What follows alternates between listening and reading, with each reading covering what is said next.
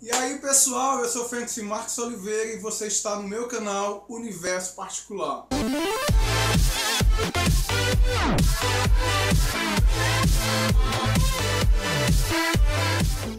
Hoje eu vim trazer para vocês mais um top 5 rapidinho sobre um escritor que eu gosto bastante, que é o José Saramago. 1. Um, José Saramago escreveu seu primeiro livro aos 25 anos de idade, que foi Terra de Pecado. Seu segundo romance ele lançou apenas 30 anos depois. 2. Saramago era declaradamente comunista, ateu, e alguns chegaram até dizer que ele era antissemita.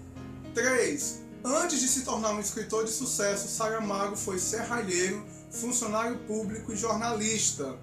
Ele era poeta, romancista e dramaturgo. 4. Na década de 60, Saramago pensou ainda em emigrar para o Brasil. 5.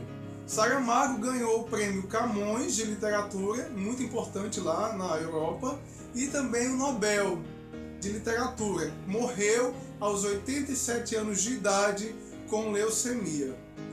Tá aí pessoal, esse foi o nosso top 5 de curiosidades literárias. Eu espero que você tenha gostado. Caso você não seja inscrito ainda, se inscreve aqui no canal, dá o seu joinha, deixa o seu comentário e eu espero que você possa ler alguma obra do Saramago, que por sinal deixou aí muitas obras para a gente poder se entreter, se divertir, porque literatura também é isso, né? Beijo no coração e até mais!